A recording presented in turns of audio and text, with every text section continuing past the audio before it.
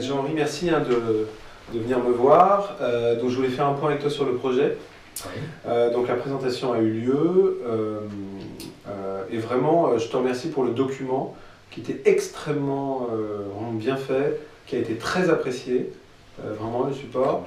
Et puis euh, vraiment euh, voilà, tu, que tu m'avais donné tous les éléments, donc c'était vraiment crois, ouais. Euh, je voulais dire que j'ai fait une erreur. Euh, en fait, euh, j'aurais dû, te, j'aurais dû euh, te faire venir euh, finalement euh, à ce comité parce qu'il y a eu quelques questions en fait, euh, des analyses tu sais, qu'on avait rejetées au départ qui ont été évoquées. Et du coup, comme on les avait rejetées, moi je les avais pas forcément approfondies. Et toi, tu avais forcément la, évidemment, tu avais l'angle de vue. Et du coup, en fait, on a ajourné euh, la présentation euh, pour avoir plus d'éléments. Et tout le monde s'est dit que ce serait bien que tu, voilà, ce, serait bien que tu viennes.